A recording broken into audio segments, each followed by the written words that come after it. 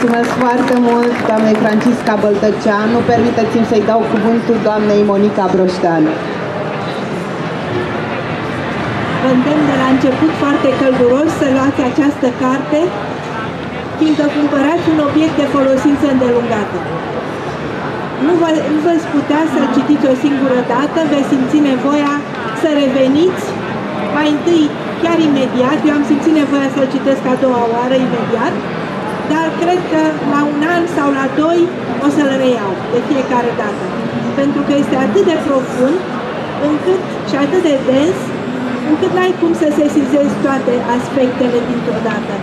Și cred că același cititor, ca să nu mai vorbesc de multi cititori care îl vor recepta diferit, același cititor în diverse etape îl va recepta noi îmbogățiri. Deci este, pentru mine este una din marile cărți dar rămâne o mare carte a omenirii. Este, în al doilea rând, cea mai frumoasă carte pe care am citit-o despre sufletul rus și despre credinciosul ortodox. N-are nicio treabă cu ierarhia, cu... Uh, este la, ce, la niște profunzimi în care se poate întâlni cu orice om credincios, de orice confesiune. Este o carte care evocă o mulțime de lumi în care eroul se integrează foarte frumos. Lumea medievală a vindecătorilor, lumea satelor pântuite de ciumă, lumea tâncurilor rusești, cu toate și mai ales minunatul, minunatul episod în care eroul nostru trece prin faza de nebun într-un Hristos. Pentru asta, dacă vreți să înțelegeți mai bine despre ce e vorba, există o carte foarte frumoasă a doamnei Cătălina Velculescu despre nebuni într-un Hristos, de la editura Paidea din 2009, în care explică acest fenomen. Nu mai există așa ceva în ziua de astăzi, însă a existat în Imperiul Bizantin și în Imperiul și apoi la, la ruși până către Revoluție.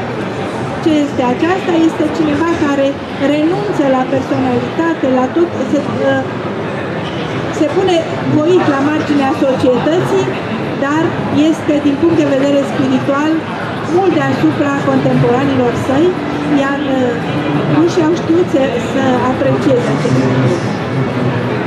Apoi, uh, mi se pare iarăși că este o, un drum de un drum de înaintare care își găsește la sfârșit în ultimul capitol Cartea Liniștii, um, își găsește rezolvarea, dar uh, nu prin, uh, printr-o înțelegere, prin, uh, printr-o cuprindere intelectuală, ci într-un apofatism, ca să zic așa, la un moment dat se întreabă eroul.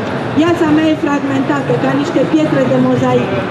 Nu pot să o adun. Toți avem această nostalgie să ne unificăm ființa, nivelurile ființei, viața. Și spune starețul, înțeleptul mai este un stareț.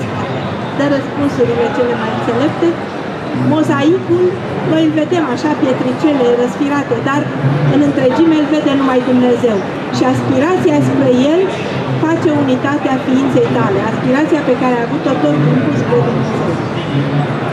Uh, cred că fiecare are multe de învățat de la această carte, iar sfârșitul este absolut neașteptat și super. Asta, nu, asta trebuie să Dar nu, nu vă lăpuștiți să citiți la început, pentru că se înțelege numai după ce citești cartea.